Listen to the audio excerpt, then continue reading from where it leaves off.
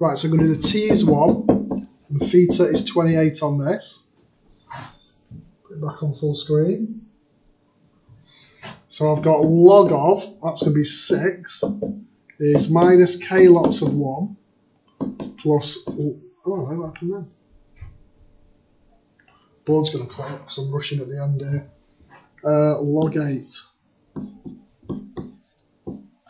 So if I take it, if I kind of rearrange it, I've got log 8 minus log 6. Combine that together, that's log of 4 thirds. So my equation is log of theta minus 22 is minus log, uh, what have we got here?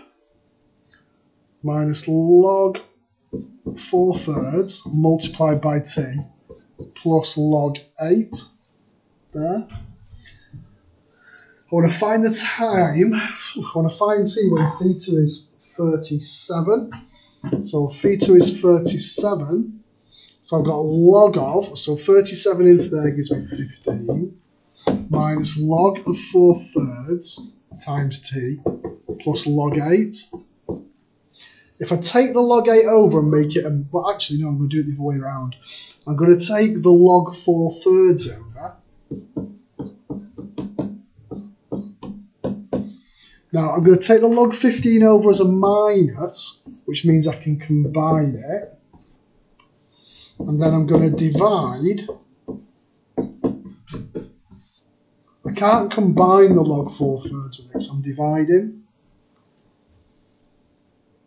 And that gives me a t value, hopefully, if it works. If you put that in your calculator, of minus 2.185.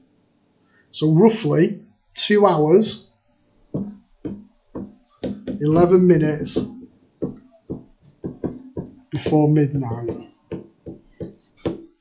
So that gives you 21.49 as a time of death. And all my lights have gone off. People are coming up now, so I've got to stop. See you later. Bye bye.